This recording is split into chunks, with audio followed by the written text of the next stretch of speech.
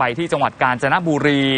หลายคนตั้งชื่อให้ว่าใส่สบงแล้วทรงพลังครับเพราะว่าพระรูปอ่าพระลูกวัดรูปหนึ่งเตะก้านคอผู้ช่วยเจ้าอาวาสจนสลบคาที่เลยนะครับ เนื่องจากไม่พอใจที่ถูกมองหน้า ถูกกล่าวหาว่าติดยา ถูกด่าบุพการี กล้องวงจรปิด จับวินาทีที่เกิดเหตุได้ด้วย ไปดูครับ ไม่ช่วยเลเอายผมไปช่วยนะเอาครัละบหลวงพ่อดูแล้ว ดูว่าหนึ่งทีโอ้ยังหนีเลยโลกทำไมกระทืบทำอย่างทีนี้นะหนึ่งอันนี้มันเกินไปหรือเปล่า คุณเทียนชัยฮะคุณเทียนชัยบอกฮะไม่ได้เอามันไม่ใช่นะ นี่สลบไปเลยนี่ว่านะ เออ สลบว่าลูกไม่ได้ คุณเทียนชัยทำไมไม่ทำไมไม่ประคองพระขึ้นมา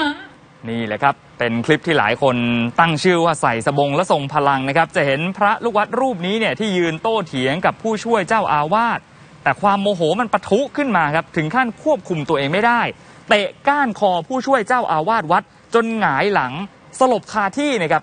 ก่อนจะเข้าไปกระทืบซ้ำด้วยเนี่ยจังหวะนี้คือเราขอเปิดภาพวิดีโอแค่ครั้งเดียวนะครับ เพราะว่าค่อนข้างจะรุนแรง เหตุการณ์นี้เกิดขึ้นช่วงเย็นของวันที่ 19 ธันวาคม ที่วัดเหลาขวัญจังหวัดกาญจนบุรี คือขนาดสุนงสุนัขที่อยู่ตรงนั้นเนี่ยยังตกใจเลยนะครับ พระที่ได้รับบาดเจ็บก็คือพระรุ่งเรืองอายุ 41 ปีครับ เป็นผู้ช่วยเจ้าอาวาส โดยทางเจ้าอาวาสวัดอนุญาตให้ไปพักรักษาตัวที่บ้าน พบว่ามีบาดแผลที่ศีรษะที่ลำคอแบบนี้นะครับ รวมถึงที่แผ่นหลังด้วย พระรุ่งเรืองที่โดนเตะเนี่ยเล่าให้ฟังว่าตนเองกับพระคู่กรณี เคยมีปากเสียงกันบ่อยครั้ง เนื่องจากตนเองเคยตักเตือนถึงพฤติกรรมที่ไม่เหมาะสมหลายอย่าง กระทั่งวันที่เกิดเหตุนะครับขณะที่ตนกำลังนั่งเล่นอยู่ใต้ต้นไม้ จู่ๆพระคู่กรณีก็เดินปรีเข้ามาหาเรื่อง จากนั้นก็มีการท้าทายกัน แล้วก็เป็นไปอย่างภาพที่เห็นในคลิปไปฟังเสียงครับอ๋อเราไปมองหน้าเขาเพราะว่าเรามองหน้าเขาอ่าท้าทายครับผมแล้วยังไงต่อครับท้าทายกันแค่นั้นแหละแน่จริงก็ไปหลังเมนที่ฝ่ายตรงข้ามนะอ๋อฝ่ายตรงข้ามท้าเราเอออ๋อถามไม่กัใช่บเราท้า เออเขาตรงท้าพวกเขาท้ากลับมาอีกทีอืมครับเขาบอกมาชี้หน้าว่าด่าด่าตมาก็ผมก็เฉยๆมั้งคนนึกว่าเขาจะเดินไปกุฏิเขาแล้ว อ่าฮะคิดว่าจะไม่มีอะไรเออไม่มีอะไรเกิดอะไรขึ้นครับเพราะ เตะเลยเออ เหมือนในคลิปเลย ครับ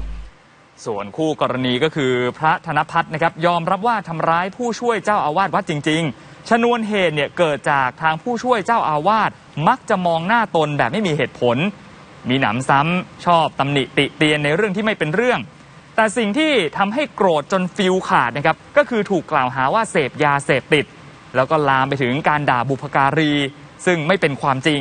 ตนก็เลยตะบะแตกลงมือทำร้ายแบบนั้น หลังเกิดเหตุพระรุ่งเรืองที่บาดเจ็บและครอบครัว ได้เดินทางเข้าไปแจ้งความที่สพเลาขวัญ ยืนยันว่าจะดำเนินคดีให้ถึงที่สุดหลังจากนี้ตำรวจจะเชิญตัวพระพิสุผู้ก่อเหตุเข้ามาสอบปากคำเพื่อดำเนินคดี